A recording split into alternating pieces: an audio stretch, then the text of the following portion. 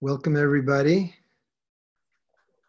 My name's Toby McLeod, and I'm in Berkeley, California. And we have uh, Dr. Wolde Tadesse with us from Oxford, England, who will be speaking in a couple minutes after I get some introductions out of the way. And also, Dr. Kenneth Wilson is joining us from Borneo, who Tadesse and I both know from our years uh, when Ken was the executive director of the Christensen Fund, where Tadesse was a program officer. So um, we've been streaming the uh, four films from the Standing on Sacred Ground series for the last three weeks. And my protocol as a filmmaker and an ally to different indigenous communities is to try to facilitate conversation that involves the people from the communities that we film in. So it's, it's about the communities, it's not about the filmmaker or the films. So we've just had three films uh, in the last three weeks. The first film took us to the Altai Republic in Siberia, Russia, and also to the Winnemem Wintu in Mount Shasta here in California, uh, where communities are fighting against huge government projects that threaten their traditional lands and sacred sites. The second hour, which we showed last week, uh, was about the tar sands of Canada and the community of Bozeman on the Ramu River in uh, Papua New Guinea. Both of those indigenous communities are fighting against mining uh, that's contaminating their rivers and affecting health and sacred lands as well. And at the end of each of those weeks, uh, the first week we had uh, Winnemem Wintu Chief Caleen Sisk with us for an hour. And last week we had Anishinaabe activist Winona LaDuke. And we have just posted both of those hours on uh, YouTube. Uh, so anybody who missed those conversations, which were really wonderful, can also catch up and go back and look at our YouTube recordings. Um, so it's been really an amazing honor for me over all these years to work with people like Tadesse and Ken and to try to convey these really complicated, important stories of traditional people preserving land and ceremony and language and food sovereignty uh, and in an attempt to maintain traditional culture. And Tadesse, without you, we never would have had the access in the Gamo Highlands that we had. You had sent the word that we were coming and that maybe we could be trusted to tell the story in a good way. And um, we were really welcomed with open arms the, the, the Gamo Highlands story in this third hour of, of Standing on Sacred Ground, which I hope many of you have had a chance to watch, is paired with the Queros in Peru, perhaps the most suspicious, uh, least trusting, uh, and really smart people to not really trust the outsiders coming in and trying to uh, offer to tell their story. But when the when the people of the Queros welcomed people from the Gamo Highlands there at the Potato Park in, in Peru. We had a cross-cultural merging uh, that really linked those two stories in the, in the Fire and Ice film. And we also happened to film in each place an instance of the traditional people having trouble conducting their traditional ceremonies in the face of religious persecution. Uh, in both cases, um, in, in Peru from a Catholic uh, ceremony that was going on at the same time. And when we were in Gamo, uh, there was a conflict with a, with a sort of a fundamentalist Christian group.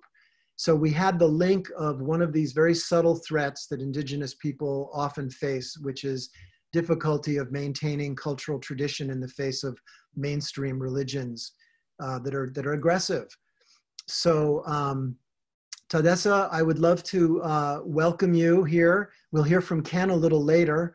Um, but Tadesse, I'd love to start with you, maybe, maybe addressing the question of the meaning, how the film was received in the Gamo Highlands, whether it, it helped in any way, um, you know, how it, how it has worked for you to fund and support other films and books and even the Festival of a Thousand Stars. Maybe you could talk about how this film has had had an impact, and then how the rest of your work has had an effect on Gamo culture.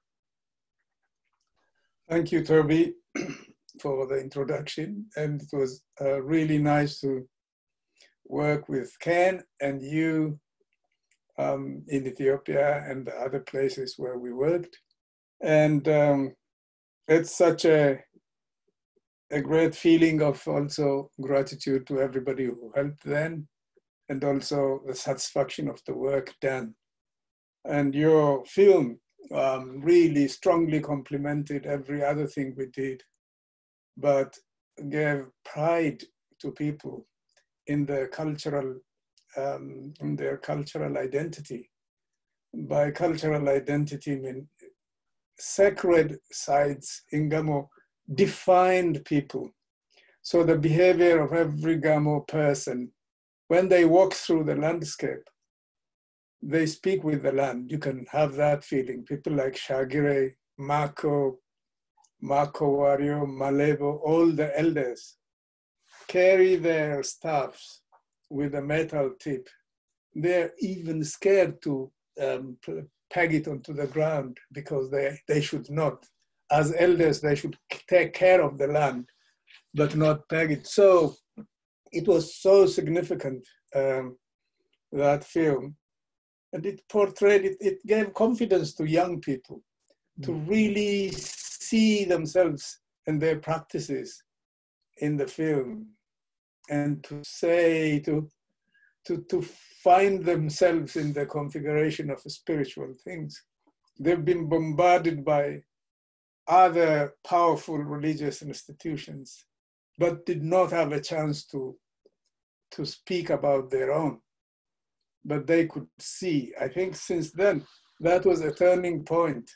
They started to talk about their practices, proudly started wearing their costumes.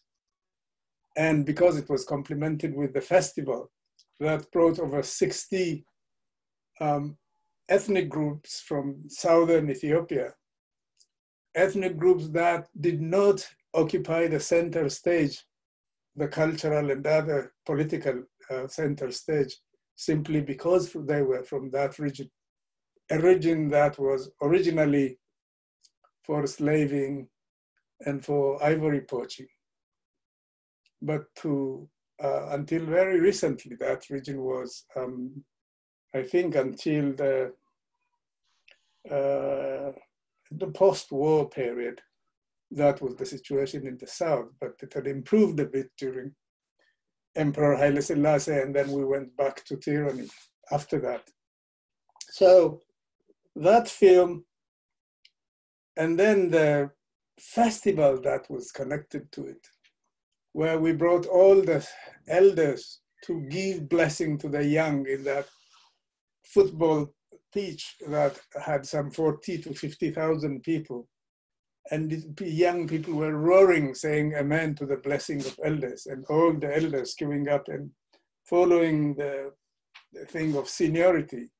So the senior, the most senior eh, blessed first, and then the youngest, and so on and it was un, unseen before that. And that kind of was, I think, the power behind uh, later developments.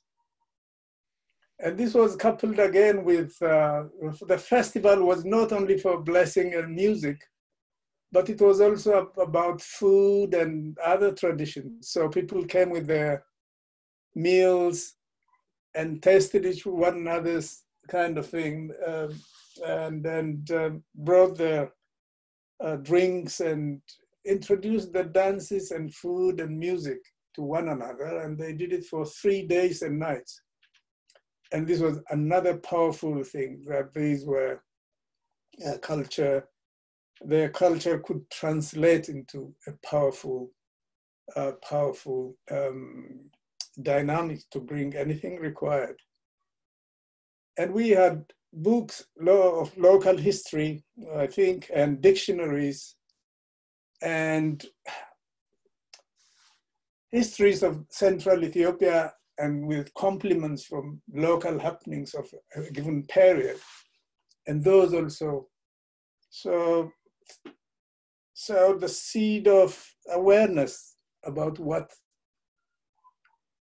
about how they should view themselves and what they've gone through and what their future should look like. So I think we've done um, a very complex thing, but that complexity has helped people see connections. They are complex people with, you know, complex agricultural systems, complex kind of layers of responsibilities to the to the earth, to people, to even in the prayers, you could see they do not pray for the self, they pray for an elder reciting prayer would go the list of things he prays for the bamboo, the barley, the insect seedlings, the uh, bees, the cows, and the womb of the woman to be fertile, etc., etc. So you just recite the list of things you want to thrive.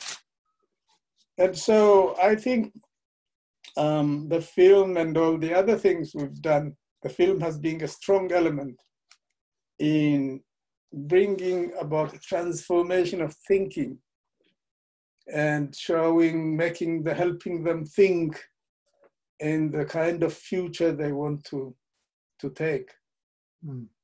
They expressed their, you know, they were given the courage to speak about what they like, about their seeds, about their cows, about their animals, their trees, their costumes, their language, and their food above all. So it just locked them to their places um, in, in a very uh, interesting way. And um, now, yes, they, they, they find themselves in that kind of circumstance where they um, have woken up to the realities of the last 100 and something years. And they see themselves now as uh, people who need to steer their future towards their future not to not to let others steer for them, hmm. but uh, take control of their future.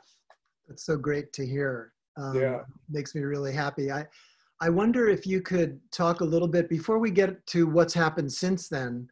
You, one of the things you taught me um, and and really counseled me about was to be careful about focusing too intensely on a given sacred site, you know, a specific place. And so I wonder if you could describe the Gamo conceptualization of the landscape as yeah, a... it has taken me quite a long conversation with Shagire to learn to learn this because uh, the young boy I was trained about, you know, sacred site, the church, or you know, or, or certain spots in it. But actually, many of our elders think that's not correct because they say, what is not sacred about the land? Hmm? What is not sacred about the land? You want to sit in someone's plot, that's sacred because this is the place where you place the seed into the soil and you must keep it clean, clean in a sense, clean from all kind of evil, including you don't lie there. You don't speak things that are not right. You don't use abusive words. You don't make love on your plot, for example, or anybody's plot. You don't pollute the land. So, and um, the paths um, you use are sacred. So they connect places, your home and your fields and your secondary home in the mountain range. And paths are sacred because they, they bring diseases, they bring war, they also bring emissaries who bring you peace and, uh, you know, uh, people who mediate between conflicting groups.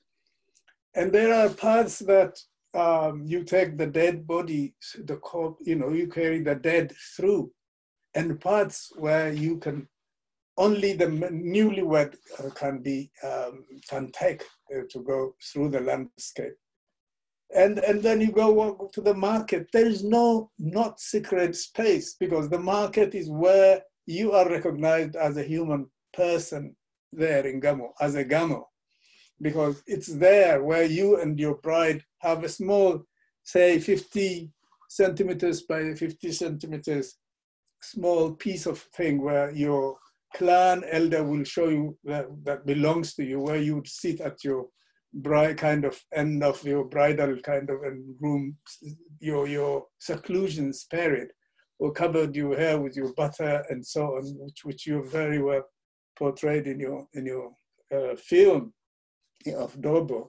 Um, so everything I think is sacred. The land is very much revered, and you are careful with what you do with the land. So the sanctity, some places it's easier to to do certain things in some places. That makes them spots, sacred kind of. Otherwise, all land is sacred. And when you go, um, you carry some tobacco, you kind of offer the land some prayer and, and tobacco too.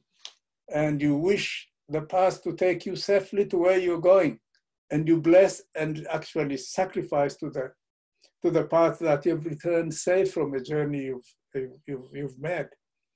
So it's, it's all a web of things, and there's no free kind of thing. The river stream, the stream down in, the, in a valley is a place where you and the other community have taken oath, you know, for various reasons. And um, the, the big tree in the neighborhood is where something important has happened. Each activity makes the place sacred. So you always pay tributes to that uh, favor the land has done to you, safeguarding you, or giving you food, or being your eternal home when you die, or for giving you children. So you are there with it, and it's your partner. So you are in a mutual caring and guarding relationship. And it's that relationship that makes the land sacred. So also the human being. The human being is in that respect sacred and uh, deserving all kinds of respect from, from you and from everybody.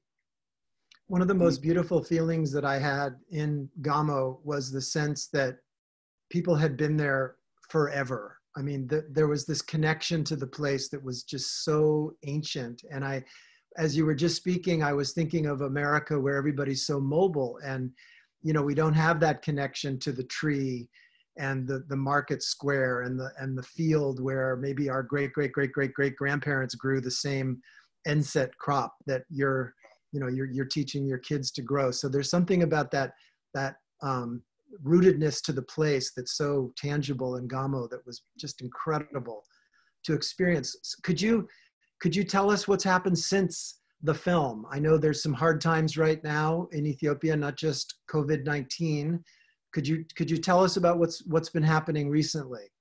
Yeah, there there have been waves of things that have happened. Uh, after so many years of very hard life, there was a kind of revolution that ended uh, becoming a, a, reform at the end.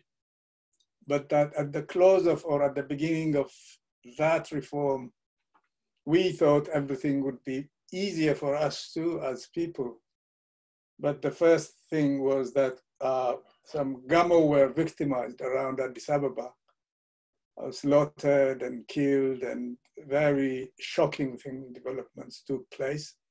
Hmm. And it wasn't only around Addis Ababa, but also in the eastern province of Bale, there were many Gamo weavers living there, simply making clothes and providing, selling the communities there not rich, not anything, but itinerant weavers. Weave one season, go back home to do agriculture. So there was an, a kind of Islamic fatwa where there, it was decided, it was declared in a massive marketplace where there was large um, number of people that no one should provide the Gamo with anything, not sell, not buy anything from them, uh, exclude them as much as possible, not rent houses to them, not allow them to board transport facilities in that region. And then that would be extremely uh, punishable uh, by the law of that specific place and mm. that specific group. So it was religious leaders who was passing this judgment. So then uh, this darkened our kind of hope to some extent. And then there was anger in Arba where young people wanted really to take revenge on an establishment of that region that had a branch, a bank in Arba. But then when they were trying to you know, destroy that place. Gamo elders in Arba Minch went with tufts of grass and then kneel down asking, you know, holding the young people to stop. And they managed to stop without a single stone being thrown in that building and save the building. Mm-hmm. And that death and um, that symbolic move by the elders gave Gamo much renown than any time in their history. I didn't know that death could give you uh, recognition. You would get the recognition via death and uh, sacrifice. Um, I didn't know um, that stopping some violent thing would give you so much uh, applause and acknowledgement by the nation state. Since the Gamo have become have been on many peacemaking tours in the country, mm-hmm. so they were invited to the National Palace in Addis, to the palace grounds where they built, uh, where the new prime minister Abiy established a park um, uh, and opening the palace grounds for the public. And so they were called there, and I think they appealed to the nation, which was in a bad shape that, at that moment because there was violence all over the place. So they really leaned down and kissed the ground and kissing the ground begged the country to, to come to its senses and to really think deeply about their children and their grandchildren's moment rather than their own uh, selfish interests of being destructive and and um, yeah disrupting other people's lives. So i think it helped a lot um, and i think the violence receded since and uh, the country is in a much better shape now. Um, and uh, we're all grateful for the elders. And there were some incidents where I myself myself took part when I went back because I'm an elder. I joined a group um, that some young people had made a mistake of angering Konso young people in the football field, and we thought this must be resolved, however small that incident might have been. So we went to Konso with our elders and then said we're absolutely on the wrong our young people have uh, done such a mistake and we that we apologize and that would um, compensate for any loss. And um, yeah and if necessary hand over the guys with the children or the young people who made the mistake. So so they really the Konso were so happy and they forgave and then our relations now with the Konso are good but after that, there was, and the second wave included, I think, um, um, some prior to the COVID, there was and continues to be locust, and there's been locust invasion, and it's it's um, still uh, going on, and we had um, landslides and rain really and flooding um, and this has been ongoing for the last few months. Huh. And um, a total of, I think, 14,078 families were affected by this. Uh, I heard from the administration. And 14,605 persons were displaced. And lots of fields of crops, bananas, and so on were destroyed. And it did not stop there. There was a cholera epidemic also in southern Gamo. Wow. Which um, affected 80 people. And it was, um, I think, the health officials or the health officers did, did good work, and five were dead. And we, we think it might uh, be under control, but um, it is not being cleared so far. But it has affected more the the Omo peoples, the 16 uh, pastoralist groups. Mm. Oh, and and um, yeah, and this is the situation. And on top of this comes this terror of uh, COVID 19. And they estimate about 480,000 people would be affected by this and the facilities they have are not really sufficient. Not even, I mean, sufficient is quite uh, kind of shows there is some abundance, but actually lacking. Mm. They have some structures of clinics and uh, hospitals, about five hospitals. And you can imagine um, a hospital in a place where um, there are no facilities. And um, yeah, they would require nearly all assistance possible mm. if we can help save some of the uh, 400 um, projected 480,000 victims. Wow. Will you be setting up some kind of a fundraising opportunity for people to help Ngamo that we could send the word out? I think that's um, our plan, and we are. There's uh, a young uh, medical student in in Dublin, and uh, another guy in the U.S. So we're kind of creating a small hub from where we can probably launch a GoFundMe kind of campaign for which we would hope to raise some some of this fund. And there, it's a big amount of money they need, but we'll try our best to do what we can. Some of the assistance may come from international organizations, but every country seems to be seeking assistance at the moment, including the bigger ones. So Good. Uh, we don't know. And it, it's like a stone being thrown from Addis down to the south, you know, because of the, the speed would be falling. Uh, the further you throw, the slower would be the thing well before it drops.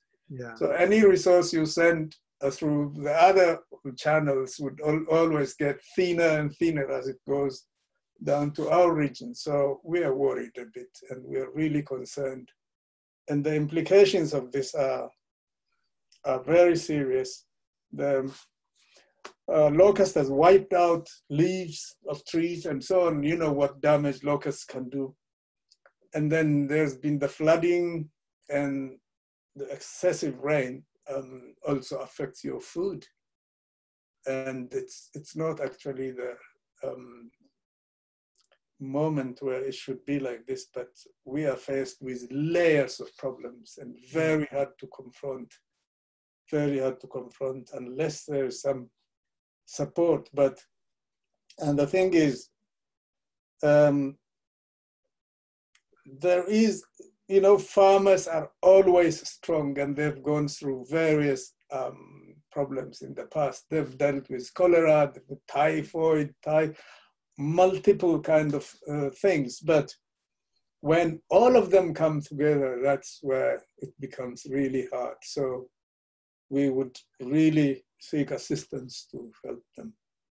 Well, yeah. I'll definitely, um, when you get your GoFundMe campaign up, we'll definitely help by sending the word out to everybody who's listening now and everybody who's signed up and help. You know, we have a lot of Sacred Land Film Project people. Thank who, you very much, Toby. That's, that would be very, very helpful, and people would be extremely grateful. I'm sorry to hear that. It's a, just a perfect, yes, perfect storm, even without COVID-19. It sounds like a yeah, huge yeah. challenge. What, yeah. what I'd like to bring Ken in in one more minute, but what, um, what's the status now of the um, the pressure on the elders uh, in terms of sort of religious fundamentalism in terms of that that difficulty of sort of maintaining tradition you know you have the ethiopian orthodox church been there for thousands of years and more recent sort of evangelical christian groups that's that was the concern 10 years ago yes. how is that how is that conflict or or not now playing out you remember that we were trying to have a meeting of elders and leaders by bringing elders from these communities and then bringing government officers to discuss on such issues um, 10 years or so ago. Um, I think it showed the elders where to go, but it didn't give them the power to move us to wherever they wanted. Um, the situation now after, during the last two years has improved a lot, improved a lot because the pressure on communities by religious uh, fundamentalists has, has, has been reduced but it's something you have to guard carefully. If the public are guarding this, uh, otherwise people are ready to grab your rights, you know, and, and go and do what they like. So we are seeing there's, um, they asked me to talk about culture, religion, and the difference between religion and culture for Maskal, religion and culture for Maskal in Arba Minch during the Maskal celebrations. And I clarified certain points saying like, religion is what you follow in the, the you know, the Bible and the different rules and codes of behavior.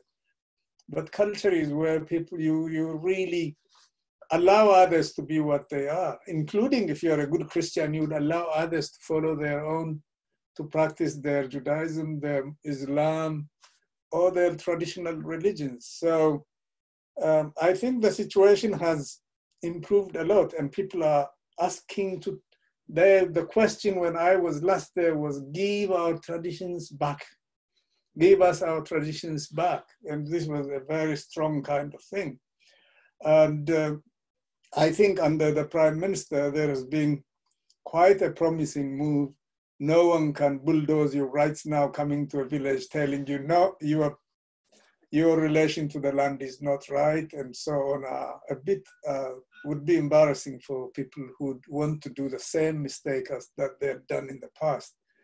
And um, in some places, they are going back to appoint their traditional governance uh, elders and as you know, traditional governance structures work in, in tandem with government institutions at, at the local level. So they are the backbone actually of governance, uh, of the state governance. And uh, they've been misunderstood in the past. And I think there is a clear understanding of who they are. And some of the guys appointed are their own children. And uh, they I think they understand the realities better uh, compared to their predecessors. And I hope and my, I pray they continue this same strong position with mm. reference to cultural independence and independence of spiritual experience. Mm. Uh, that we are not, I think, uh, we should not be allowed to dictate our own things on others. And therefore, Gamo elders and the Gamo people also have the right to practice their religion and choose any religion they really like. We cannot show them this is the right direction, but they must not be uh, they must not be attacked for following their religion, but they must also not be antagonized and uh, marginalized for that. Great. I hope that I hope that continues to be true. And Ken, I'd love to bring you in. Um, I'd love to hear any comments you have about what Tadesse has already said, but I, I have a, a, question for you. Ken is joining us, I think, at three in the morning under a full moon from Borneo. So thank you so much for waking up in the middle of the night and either that or you've been writing until three in the morning. But Ken, when you when you came to the Christensen Fund, and I, I want to say thank you again to both of you for your support of our of our work trying to help tell these stories. Um, you came with a, a vision that some form of collapse was inevitable for this industrial civilization and, and that the strategy that was important for the Christensen Fund was to support the stewards of biocultural diversity, the, the communities that have maintained sacred sites and language and songs and ceremonies and food systems. And I wonder with some time now to reflect since you've, you've moved on, with this earth-changing moment we have in front of us right now, how how you look back on that that strategy and whether we actually are now seeing it playing out. Please, please say anything you wish at this point. Thank you, and, and good evening, everyone. And um, what a delight it is to be sitting here with the, the two of you and feeling from you, Tadesse, the the beauty and power from the earth and and I congratulate the the Gamo, you know, Gamo people and and also uh, you know in the con- in this in this changing context in Ethiopia, I, I really congratulate Ethiopians for uh, finding a way through in which they can hear each other and hear the earth and um, and live live forward, live forward and value for all of the knowledge and tradition that they that they have to find a good way to live forward in this very complicated world. Um, listening to you, I, am reminded of the situation I think of, of indigenous peoples uh, everywhere on the planet right now, which is that they they have high vulnerability to COVID 19 because of all of the ways in which they are historically marginalized, um, including from health services. Um, but they also um, are having to tackle COVID 19 in the context of multiple other pressures and threats, the kind of climate uh, instability that you're describing in Gamo and other places, it's drought. And drought leading to forest fires for, for forest peoples in Ireland, for example. Um, it's in many places that they're, they're tackling or facing COVID in the face of other disease threats, other disease threats also being all part of this global tumult and confusion that we are we are in right now, um, as well as all kinds of, you know, um, financial and political and economic threats. So they're they're having they're taking on COVID in this in these very difficult times. But um, for indigenous people, I think it, it's not just the experience is not just one of victimhood. The energy and response um, the resources that they draw on in the face of COVID.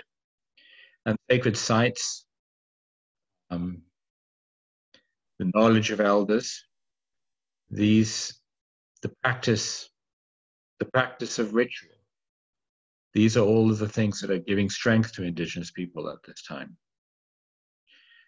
Uh, I think the other thing that's happening is similar to the one that you just described, which is that uh, indigenous people themselves with their organizations and networks, an ability to um, deploy and com- in combination indigenous knowledge and contemporary social organization, contemporary knowledge of, of virology, of public health, combining those things in very powerful ways to come up with meaningful responses. Uh, that's happening too. Um, and um, coming to your question, Toby, I think that um, if there's something positive for humanity that will come out of this COVID experience, um, it's going to be, first of all, that a sense of just how connected we are globally um, with each other, but also that it's not possible um, with money and technology to separate ourselves from what's happening on the planet. Um, and I think also linked to that,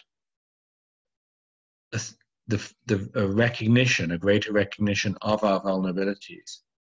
I think that um, for several decades, people have been encouraged to feel really rather invulnerable. Um, and that, yes, you know, there were climate change and biodiversity you know, we were going to be okay. Um, and these were nice things to, you know, you know, there were things you could worry about a bit, but we were going to be fine. I think if there's a positive thing about the um, the fear, powerlessness, suffering that has is you know is raining down on people is the awareness that it's not going to be uh, that um, and, um, you know, we were, in a way at Christensen, we were optimistic pessimists. We assumed that all of these difficult things were going to happen, but we were optimists in the sense that we said that, um, you know, uh, Gaia is bigger than all of those things, and that insofar as we can align ourselves with, with Gaia, good things can be made to happen. Um, and perhaps that's what may happen now. Uh, certainly, I think that there will be renewed energy behind um, a range of things: the the power of place, the importance of local local economy, local energy, local food. Seeing that we can't rely on this level of connectivity, we've got to be more grounded. Um, I think that the experience of, you know, half of humanity or whatever being constrained to their particular place, I think it's really alerted us to what is the quality of our place and what is our investment in the big tree, to use did. Uh, what is our connection to places which provided the cultural and, and spiritual and family value that we have? What is our connection? Where are, which is our place? And I think it's going to lead to um, a lot more energy um, among people to respond to that um, and to think about what are they investing in creating beauty, um, creating a sense of community and security in the very uh, architecture, natural and physical architecture of, of, of our places. Thanks. Thank you. Um, we, we do have one question that has come in um, with about 20 minutes to go. I, would love to throw this question to you, Tadesse, and, and then Ken. How can religions such as Christianity and Islam coexist with spiritual practices directly rate, related and embedded within the land? Monotheism puts man above the land and does not give the land consciousness, whereas traditional land based spirituality enlivens all in place monotheism always desensitizes and offends land-based practices. Tadesse, what are, what are your thoughts? Philosophically, I think that's what um, the monotheistic uh, things stand for. But in practical terms, when you come to indigenous places, uh, Ken might remember Ogbonwonsho. This is an indigenous religious sanctuary, spiritual sanctuary, not religious. So here are the Sidamo elders who, who are custodians of their territory. They have big forest land where, at the middle of which they have their sanctuary. So uh, Christians and Muslims come and take shelter there. And when they come, they give the Christians separate room to the Muslims, and every um, entity is um, given the autonomy to, to live and practice uh, their religion they do not tell them to, to live like them. But again, look, the monotheistic religious followers come to an indigenous sacred land to pay their respect. They also look for very positive uh, things in their lives and come and want to share from the wisdom and blessing of these places. In some cases where the courts and others have failed to uh, execute their judgments. People come here to have their things, their decisions made for them by uh, by um, indigenous religious uh, leaders. So maybe I'm, I'm not answering the question directly, but you can uh, tailor your religious things and tame them to the taste of the place and and your own kind of interest and have we not bent rules to, to live with others? So uh, I think uh, the period requires, unless we are um, religious fundamentalists or extremists, I think we tend to adapt our things to uh, live with others with respect and to have also self respect as well as respect for others. So is that not living together? Is that not um, harmonizing with others? So I thought Ogbonwonsho was a good, a good example for me uh, to, to learn from because this small indigenous center accommodates, you know, people from the, in Ethiopia, the Christian population is huge, and so also the Muslim population. But imagine their representatives coming and followers of those religions coming and, you know, surrendering to the authority of these um, smaller indigenous things. So I think we have lived um, in this way. We have monasteries in the middle of Gamo that were from the 13th or so century, and people respect them. Uh, Shagire went to the Christian church when there was celebration and would do what other people do, but come to his sacred site and do also what is customary obliged to do. So for him, any celebration was welcome because it was a sign of good life and also uh, community feeling. Uh, so it wasn't exclusive. of course, it doesn't mean there are no, I mean, there are not others who, who condemn such practices. And actually, there's much condemnation from uh, the powerful, uh, the leaders, especially of such religious uh, groups, that you uh, you surrender to um, paganic, they would call kind of practices. Ken, Ken, what have you seen in terms of a trend of mainstream faiths in relation to traditional spiritual practice from your perspective? I think that um, a kind of a, a, very formal response to monotheism and um, uh, a kind of textual analysis of um, religions of the book, you know, does you know does tend to um, separate you from a relationship to land and to a more more more plural spiritual and cultural relationship. Yes, that happens. Um, but what's really struck me um, um, over the years is, in a way, the the contrary, which is that um, the practice of these um, of these religions, particularly um, in places, very quickly becomes um, much more diverse and much more sensitive over time. Uh, you know, over time, and in most in most cases, so that um,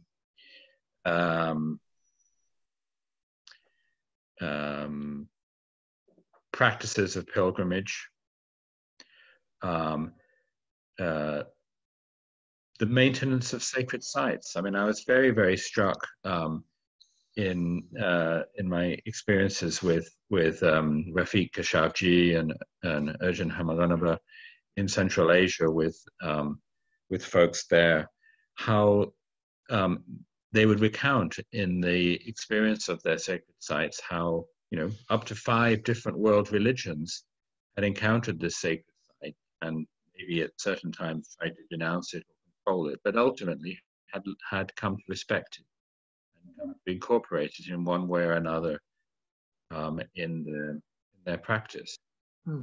Um, now, this may or may not be the case for you know um, important male leaders of those movements, but in terms of the in terms of the religious practice of women, um, in terms of the religious practice of local communities, those sacred sites, for example, um, were very important places of communion, communion among peers of believers or practitioners, communion between them and the natural world. They were places of healing, they were places of dreams, they were places where people could meet on their own terms with each other and with nature and maybe spend three days together.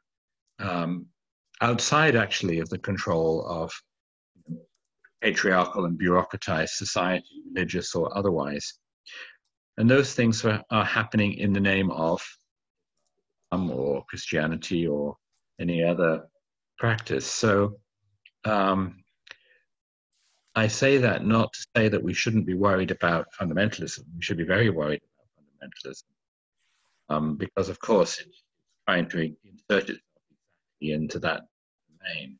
Um, trying to, I mean, you know, the, in a certain way, the great insight of religions was the possibility of a more direct relationship of between people and God. The irony was that that often led to bureaucratized and institutionalized practices that severed that. Um, and um, and these kind of eruptions now of of um, of fundamentalism often the only way actually that they can be um, that they that they can be responded to is through the bo- the body and the land, the very things that they fear most, particularly the feminized versions of the body and and sensuality. That's really can be the only way that people can have a a cultural, a religious, human experience that can help them to see um, the consequence of um, the poisonous consequence of fundamentalism. So hmm. I think that uh, that's that's I think how I would respond, and I would say that um, this site Abo Wonsho that um, Tadesse is referencing, close to the, the capital of the, of the southern region, is an extraordinary example of a place where generations of elders have um, managed to simultaneously um, uh, deepen and demonstrate a vibrant relationship, spiritual relationship with land and, and forest groves, at the same time as being a place not only that not only open to all religions, but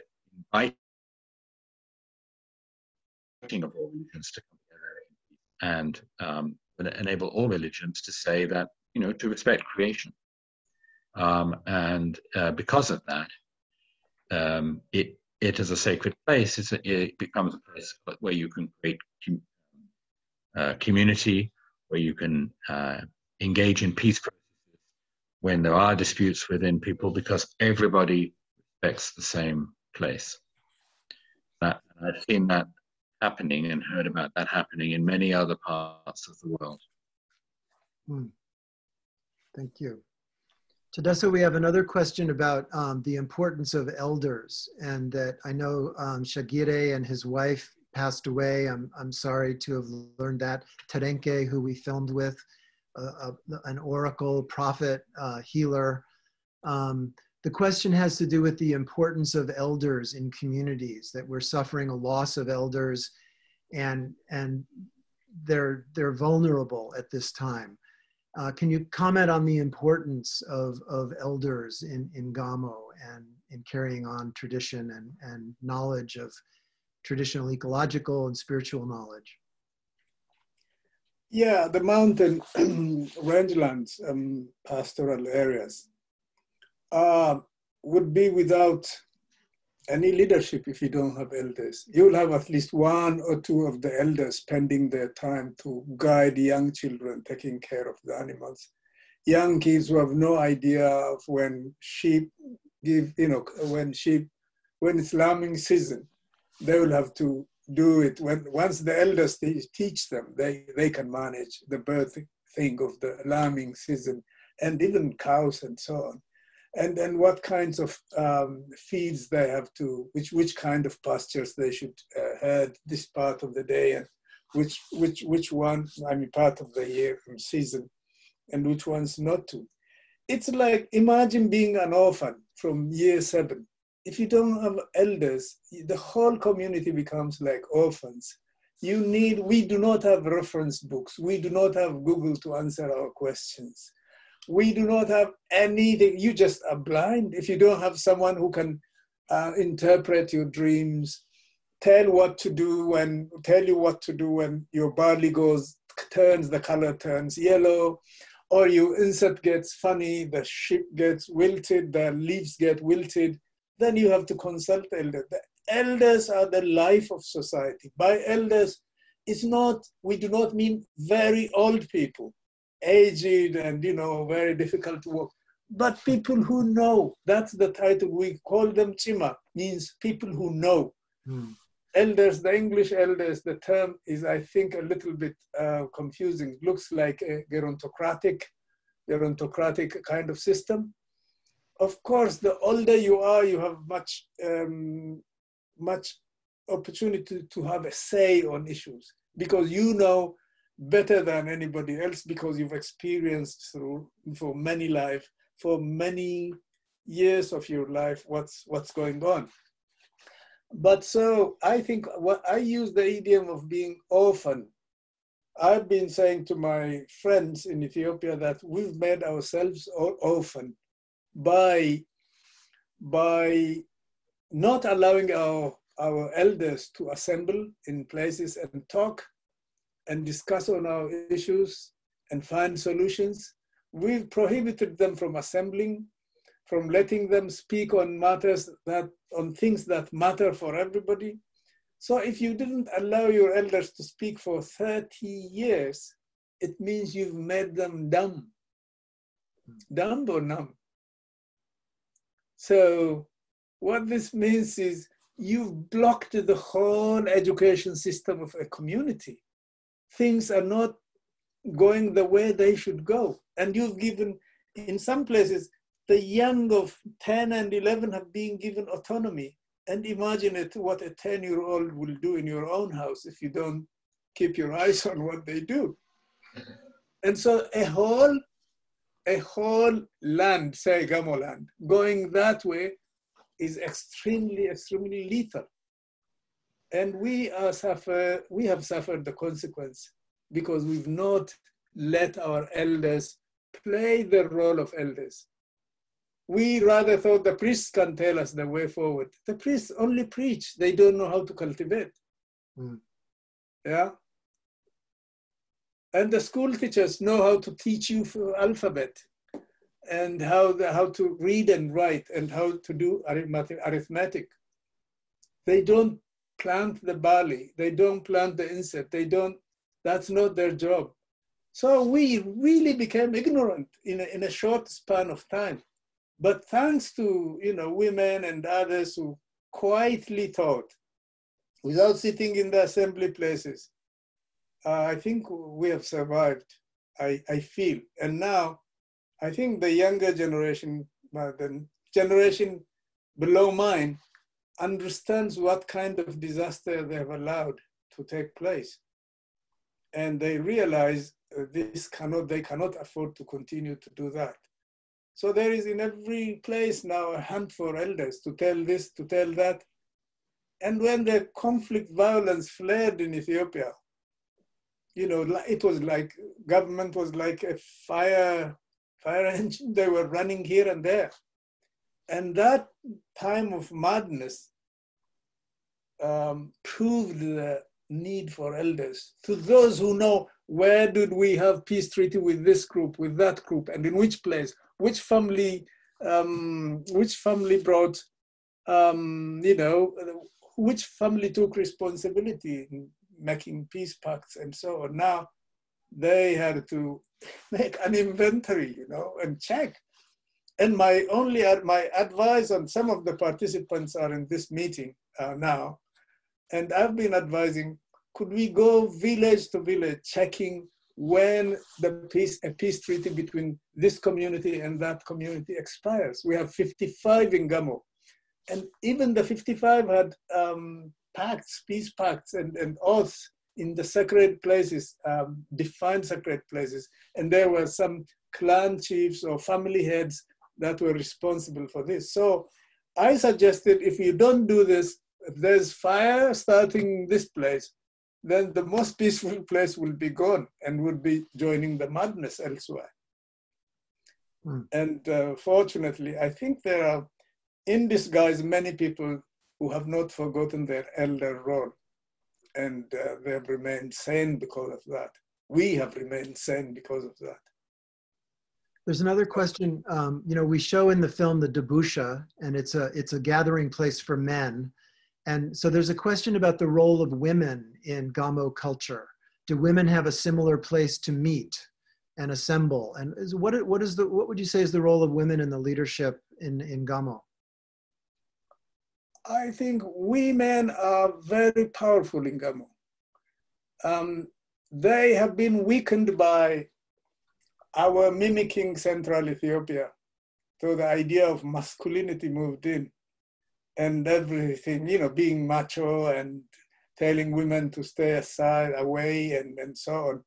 But look, um, only uh, prior to 74, we in, um, in the Kogo area of um, Gamo brought a queen from uh, northern Gamo, further north from us, from a wedlock. She was chosen, and her husband is asked to so that she can reign in our territory. And this uh, queen that's brought in, and a male kind of halaka chief would handle the knife, a sacrificial knife, the, the, the thing, the hand, and, and slaughter together, sacrifice. And this I've not heard in any other place in Ethiopia where a man and a woman take charge of sacrifice or making an offer to in a sacred place. So she would be the ruler for the period of, um, for a given period and will be sent with respect and presents to her family home. And um, that was a blessing, everybody believed, because if Kashe isn't there, my one of my daughter's name is Kashe in commemoration of this. And so if women didn't take that kind of role, there was always a disaster to be expected because a halaka is never a halaka on his own. A halaka must have his wife, his official wife, to sit with him during the ceremony. Elizabeth was invited. I was told to bring Elizabeth when I was made a Huduga elder. I could not take that on my own. She had to be flown from here with me so that we took the so that we can take the thing together. So the thing of complementarity is essential. You cannot do it on your own. But as I said, we had um, Lisha, the cow or the king, queen of Lisha, Zada, was a lady. and the queen of Zada, uh, Dita, was a lady too. I mean, these are two communities among the 55. So we have we had three or four queens. And this was after the uh, ninth, after, yeah, but for the last how many years, it's, it's the male taking over in every regard. And uh, so, um, but prayers even will not be effective without your wife being there and putting the kind of having the right setting for your spiritual practices at home and among the family and so on. Thank you. We're we're getting close to the the time limit here. So um, Ken, I just you have some friends listening. I wonder if you could just tell us how you're doing in Borneo. You live looking at a sacred mountain. I've seen pictures. haven't been there yet, but um, how has your life changed? How how are you doing there? What what are you what are you thinking about these days? Well, um, greetings to anybody I know out there um, and anyone I don't know. Um, yes, I'm living on my wife Cynthia's uh, family land um, on a on a ridge in the in the in the rainforest beneath this uh, 14,000 foot sacred mountain Kinabalu. Um, tonight it's under a full moon. It's extraordinarily beautiful. There's bodies of mist between us and the and the mountain and the. Um, these are valleys that were traditionally um, rice farmed for, for hundreds of years by uh, Dusun speaking people. Um, and um, now about half of those rice lands have been lost to you know, roads and other kinds of development and uh, many of the rest of them are not farmed because of, you know, cheap rice here from other parts of Southeast Asia. Here we are in this um, epidemic, in this pandemic. Um, all of the long distance trade of East Asia has been thoroughly disrupted. Um, everyone's talking about the fact that Borneo produces only about a quarter of the rice that it eats. This is a rice culture. Uh, this isn't a rice culture only in the sense that people like to eat rice. It's a rice culture in, in um, almost all aspects of cultural and spiritual and family life of rice. Um, and yet, this is a society that relies three quarters of its rice from other countries. Um, so um, this is something that the government, um, right down to you know the uh, the elders in the community in the villages right here, are worrying about in the context that Vietnam is, um, supplies about 30, 40 percent of our, our rice here, has said that they're not going to export. You know what's going to happen next. But that's the kind of thing I'm now involved in. Um, you know how to work with the communities here to to revitalize their rice production. Of course, very complicated. Uh, we are we're living in a very very world, um, and um, we may be in Borneo, but um, um, all the very same forces are right here. Mm. Thanks. I love the butterflies on your pajamas.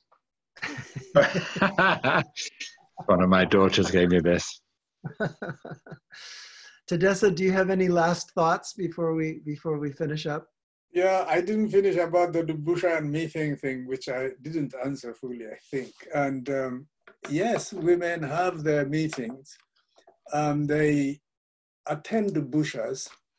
What's most important is a seven-year-old child can appeal to the busha, uh, scream at dusk, no, dawn, and at dusk, sorry, and tell of his problems, and to which the, the would respond immediately the next day. And a woman can attend the busha. The sitting arrangements are different. Women sit in one part of the busha while men on the other. They do not mix because that's a, a, kind of a clear demarcation between men and women. But there is an important event mm, which brings women to the top of you know everything, and it's um, a, a, ritual called um, Marae.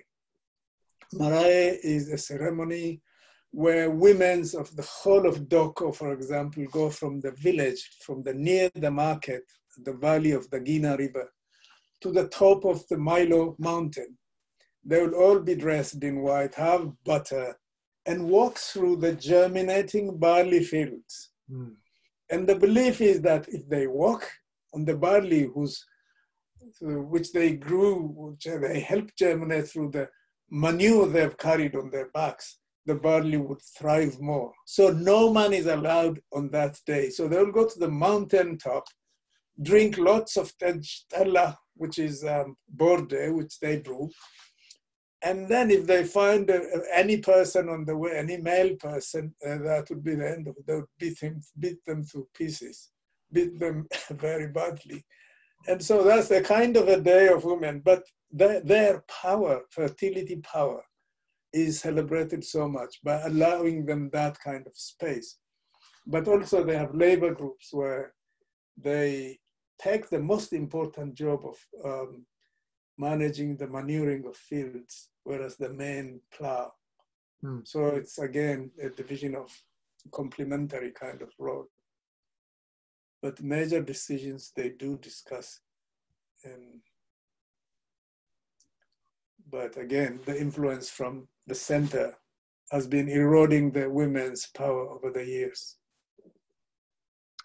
Well, thank you. And um, we're a little bit past the hour, so I think we should probably wrap up. And I just want to thank Tadesse, thank you so much for joining us and spending the hour with us, and Ken for joining us from Borneo. It's been so great to see both of you. And I think we'll just, uh, anybody have a final thought or are we, are we good? I do want to say, uh, Toby, that, um, you know, we've known each other 20 years or something now. Um, you have a, a very, really, really unique and beautiful um, I don't know what to say, characteristic, trait to your, to your character for a filmmaker um, where you keep this connection to the place, the stories that you tell. Mm. There must be, you know, there must be so much energy for a creative person to move on to the next project, um, the next film. And I'm sure you have that too. But what you have done um, with the Gamo and with all the other places that you've worked in that this film and in the other films you've done in earlier in your life is you have kept these connections um, they become a permanent thread in your life and i think that's incredibly important and incredibly meaningful and i just want to hmm. commend you for that well thank you ken. That means a lot. And i i, I really do feel that it's such an honor to you know be trusted to help tell some of these stories with the collaborative team that it takes to tell them and that indigenous people's connection and and and um, protection of culture and the sacred is the most inspiring story on the planet. And it is the pathway to a future. So it's it's um it's really an honor and I, I, I thank you for your support both of you over all these years and, and for everybody who's listening because um, it's all about the stories rippling outward and, and a little bit of education at a time. So thank you all for being here. We appreciate your questions and uh, may the conversation continue and, and our friendships. And I hope everyone stays safe out there and stays healthy. Thank you. Thanks to Ken Thank and you. thanks to Dessa. Cheers, Ken. I'm going to go to sleep now. okay. Bye, everyone. Thank you so much. Let's be in- Thank you very much. Yeah. Okay. Bye, everyone.